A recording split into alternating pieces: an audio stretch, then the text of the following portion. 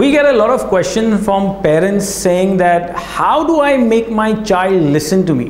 You know, my daughter, my son, she or he does not listen. You know, the moment I start talking to my child, they either tune out, they leave, or they say, you know, come to the point, mom or dad, you know.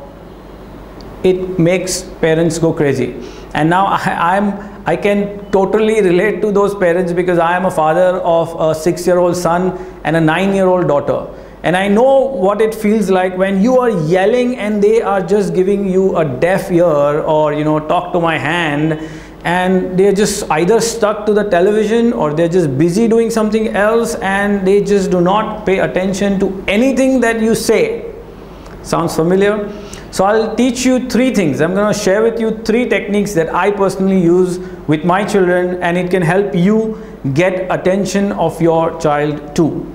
The first is how do you make your child listen to you? Now, before I, you know, talk about the technique, uh, isn't haven't you noticed that when you tell your child that hey, let's go out for a movie or the mall or ice cream, they're like, yes, tell me about it. Yes, you know. So the the whole agenda here is it's not that they are not able to hear you, they are selectively avoiding listening to what you are going to say and this is basically because they either know what you're going to say which they're not interested and they already know your patterns of behavior and that you know you're going to blame them you're going to yell at them you're going to tell them to do something which they don't want to do. So they're just going to avoid listening to you. So they can listen to you but it's selective listening. Now the first technique that you can use in order to get their attention is first by listening to them so this is what they have learned from you, right? From us as parents. Because when the child comes to you and you're like, hey, no, I, I don't, I'm busy on my phone or busy on my laptop and I don't have time for you, and you know, go watch a television or go play some game on the laptop, you are not listening to your child. So hence the child also, when it comes to them listening to you, they give you a deaf ear. So it's basically just mirroring your image, mirroring your behavior. So what you do is you listen to your child. The moment your child comes to you and you're busy, just turn to your child and say, Yes, tell me, what are you saying?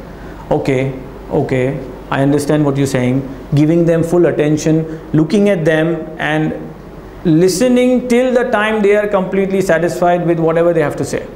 Now they could be sharing something, they could be wanting something, they could be, you know, telling something, maybe a complaint, maybe something that you're fed up listening, but you still have to sit and listen patiently, attentively till the point that they are satisfied. First technique. Once you do this, you will see the change that once you give them a ear, they will also start giving you the ear.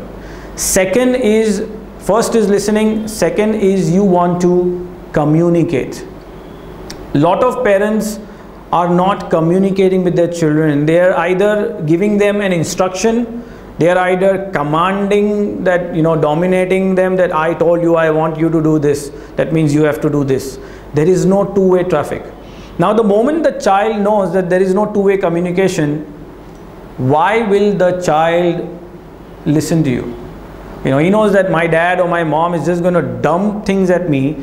Either he's going to blame either she's going to complain either she's going to tell me how bad i am how whatever i am and that's not working that's not going to help me. So you know just might as well not listen.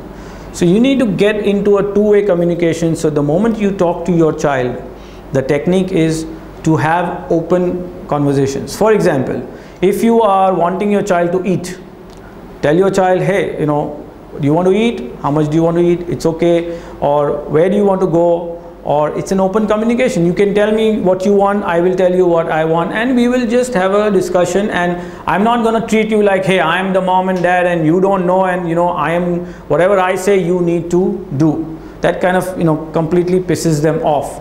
So it has to be a two-way communication channel.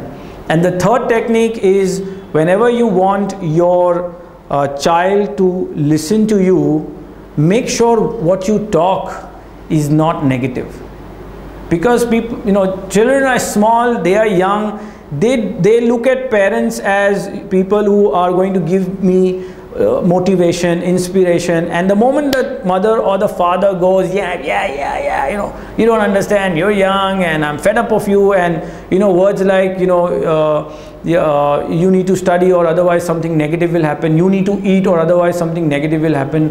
Or you need to do this you need to stand like this sit like this walk like this talk like this eat like this eat this much.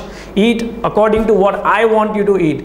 Then it forms a negative emotion in your child's mind. And the moment you even if you have to say something good the child feels it is going to be something negative. And the moment it's negative and it will make me feel low and hurt then you know i'm not interested and i don't want to listen to you.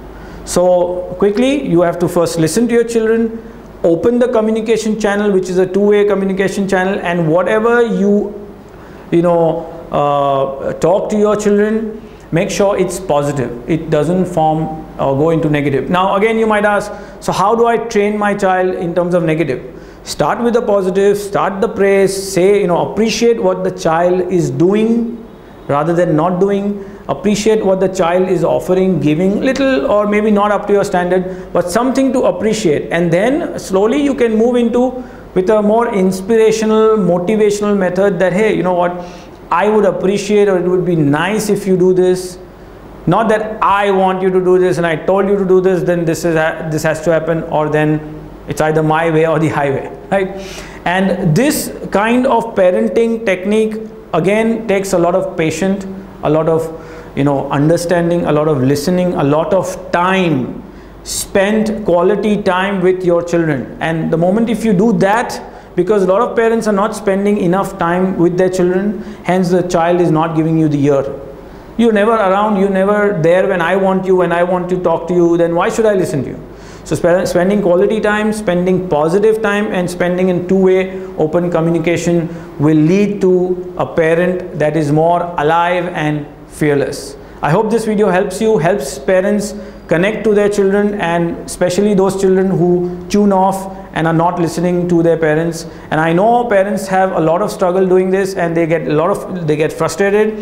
And uh, you know hope this helps you. If you have any question post it in the comment box below.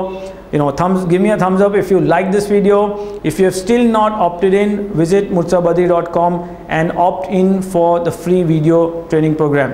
Share it with other parents you know who are equally struggling with their child who are not listening and hope this helps them too. Stay alive stay fearless dream big stay strong and i'll see you soon in the next video. Thank you